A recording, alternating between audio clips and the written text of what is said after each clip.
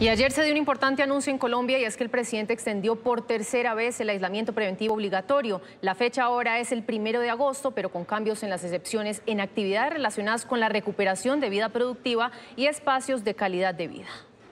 Pero el concepto de aislamiento preventivo se mantiene y quiere decir que las personas que están dentro del régimen de excepciones, van a seguir operando dentro de él y lo que hacemos es extender el concepto del aislamiento preventivo obligatorio hasta el primero de agosto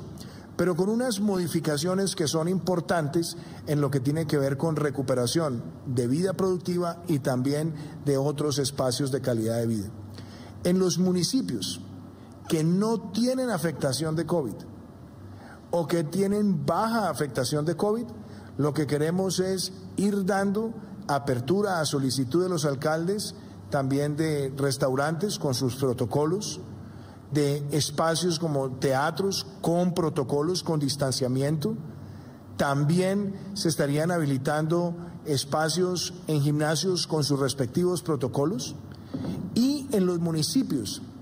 que tienen una afectación alta, se pueden empezar a liberar ya pilotos previa solicitud de los alcaldes. Pilotos, por ejemplo, en restaurantes, pilotos en algunos lugares como teatros, eh, ya hemos avanzado en los temas de museos, pero también ahí queremos seguir extendiendo esos pilotos también. Y quiero ser muy puntual, siguen también las restricciones que son claras a temas como bares, discotecas,